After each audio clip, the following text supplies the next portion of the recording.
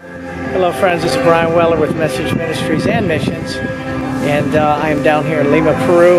We are working on the Peru Flood Relief Project. I'm in uh, Marcus, which was not affected by the floods. That's where the river is, and it's high enough that no water got over. But what we're doing here is uh, we've taken the donations that many of you have given and you have donated and we've gone out and we've purchased things like avena which is kind of like an oatmeal. We've got rice we've got sugar we've got evaporated milk. We have toiletry items and other things like that. And I'm going to take you inside where some of the youth and young adults are helping to package all these things together so that we can then bring them to the flood areas. Now this particular uh, batch of food and supplies is going to Huarmey and uh, we'll be going there on Saturday. And so we'll probably take three or four or five vans. And we'll also be doing children's ministry and we'll be doing a, uh, a street outreach as well because we want them to know that Jesus Christ is the reason that we're doing what we're doing and that He is the only hope. And uh, you know, I always say uh, you give people some food it may last for a few days, and we definitely want to do that. We want to help people, but we want to give them something that will help them get through the days and the weeks and the months and the years ahead. And the only true hope that's going to do that is Jesus Christ. So come on with me. We're going to go inside and uh, see what they're doing here. So here we go. You can see we've got uh, some of these different items, and uh, things are being uh, broken down in the smaller quantities and uh, then they're put in these bags here. That's Ruben working hard. And uh, you see, got a lot of teamwork going. And uh, what, what I like about this, it's the Peruvian people doing the work.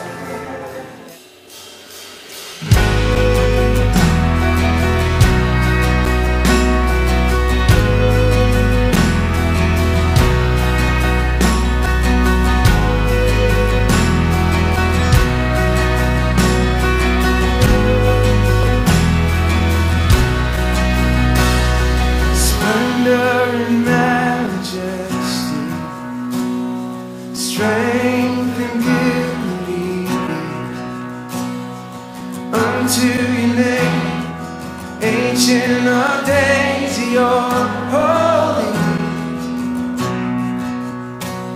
We tremble before your throne, our hearts prepare you.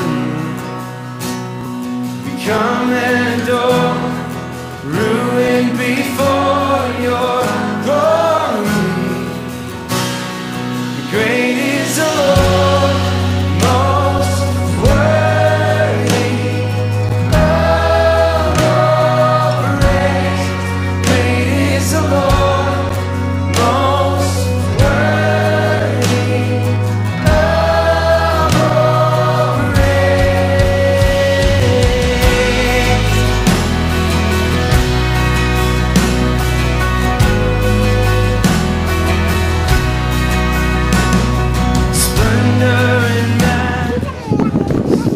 this is in Cajamarquilla. That's where the people are living now, and this is where a lot of the sewing took place. A lot of people worked in sewing garments and what have you, and it's it's pretty much it's all gone. You can see the workplace is under under mud now, under dirt.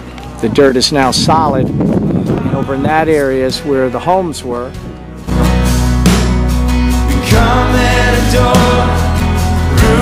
We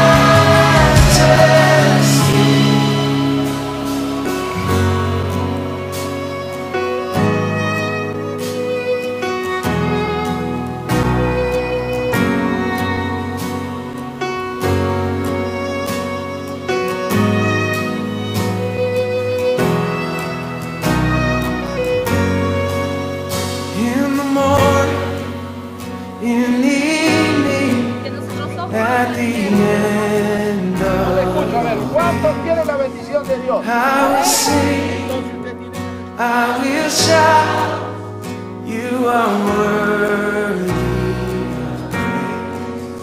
In the morning, in the evening, at the end of all day, I will sing, I will shout, you are worthy.